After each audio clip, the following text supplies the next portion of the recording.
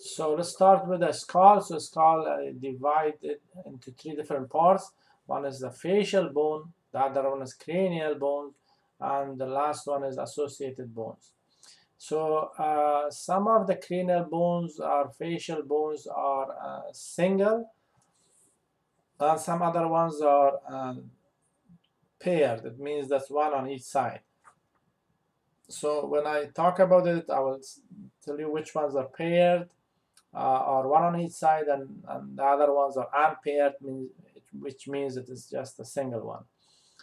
Uh, so of the facial bones, so the nasal bone, this is paired, one on each side.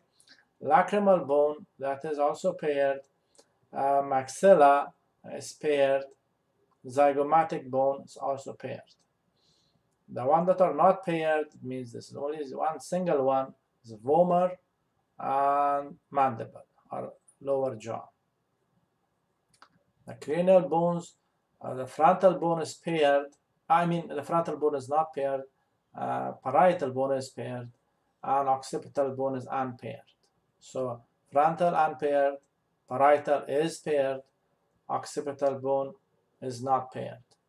Temporal bone is paired, one on each side, and the ethmoid bone and sphenoid bones, these two bones are not paired, they are just single. Associated bone, one is the hyoid bone. This is a single bone in the neck, different muscles attached to it. Uh, you will see the importance of that when we get to the um, chapter 11. And also there is auditory ossicles. Ossicle means small bones and there is three of them on each side. So this these bones are located inside the temporal bone, inside temporal bone. So this is the view of the skull. Easy to uh, see it from the frontal view. You can divide it into three parts, the upper part, the middle part, and the lower part. So in the upper part, the main bone that you see, this is the frontal bone. This is the frontal bone. In the background, this one that you see, this is the parietal bone, okay, in the back. I will show you from a different view, it's, it's easier to see it. Uh, then uh, in the middle there's a lot of things are going on. So this is the orbital cavity. This is where eyes are located. Of the bones that an orbital cavity one is the sphenoid bone. So sphenoid bone starts all the way from you know one side it's covering the back of the orbital cavity goes all the way to the other side. It's just a single bone. Um, you also have some other bones like this one. This is called ethmoid bone ethmoid. So part of the ethmoid bone, you can see it here. Part of it, you can see it here in this area. So these are the ethmoid bones, okay? All three of them together. This is the nasal cavity, okay? Um, and um, also some other bones that you see in the orbital cavity here. A small bone here, you can see this is the pali um, palatine bone. Um, and this one is called the lacrimal bone, this one. And this area is not uh, shown anything, it's not labeled, but this is part of this bone. This is the maxilla. Uh, and um, laterally, you can see the zygomatic bone. Uh, this is the cheekbone. Um, and inside the nasal cavity, so you have this ethmoid bone in this area. This one is vomer, V-O-M-E-R, and this is called inferior nasal concha, one on each side. Uh, you have the upper jaw, this is the upper jaw, this is maxilla, and in the lower part, this is the lower jaw, and this is, this is also uh, the teeth are attached to the lower jaw, and that's called mandible.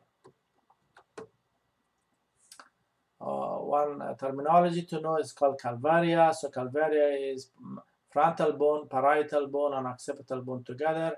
For example, if there is any kind of surgery going on in the brain, so the surgeon can cut the skull like this. And so they are removing calvaria. So that's the name comes from. Comes from. Uh, there is also another term is called suture. So suture is a connection between the two bones in the skull. They are irregular in shape. Is like a sawtooth. Uh, there's a few sutures here. Uh, this is called coronal suture. If you go back to lab one, you should know uh, which plane is coronal suture If you don't remember it, it's anterior and posterior. So separating the body to anterior posterior um, section. Uh, so the coronal bone, uh, the coronal suture is uh, uh, connecting the frontal bone and the parietal bone. And here is another uh, bone here, uh, the occipital bone all the way at the back, and the occipital bone is separated from the parietal bone by the lambdoid suture. So this is the lambdoid suture. And here is another bone, this is called the temporal bone, and the temporal bone is separated from parietal bone by the squamous suture.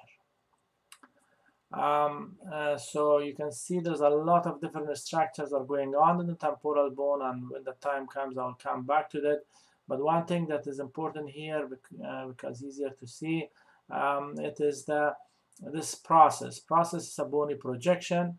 Uh, if you guys don't remember then these names, please go back to chapter 6. There is two slides that I told you to look at it. That is for uh, terminology of uh, uh, bones. So please uh, go back and read those two slides before reviewing this chapter. So this is the process. This is going and attaching to the zygomatic bone. So this is why this is called zygomatic uh, process. And that uh, articulates with the process of the zygomatic bone and that process is called the temporal process. So these two processes together, this is called the zygomatic arch. Uh, this is the orbital cavity that I was telling you that is the eye is located there. And, and this is the ethmoid bone located medially. Anterior to that is the lacrimal bone. Anterior to that is the maxilla. This whole thing, this is the upper jaw, this is maxilla. And uh, here is the nasal bone which makes upper part of the nasal cavity. And the lower part uh, uh, here is the mandible, so that makes the lower jaw. Uh, from posterior view, you can see the occipital bone that is separated from the two parietal bones by the lambdoid suture. This is the lambdoid suture. And uh, these are the parietal bones, uh, two of them, and they are separated from each other by the sagittal suture. Yeah, if you don't remember sagittal plane, go back to chapter 1 but as a reminder sagittal plane is splitting the body into right and left and look at the mandible at the background okay? Uh, this is the superior view so you can see uh, the two parietal bones here. They are separating from each other by the sagittal suture. These two parietal bones are also separating from the frontal bone by the coronal suture and from the occipital bone by the lambdoid suture.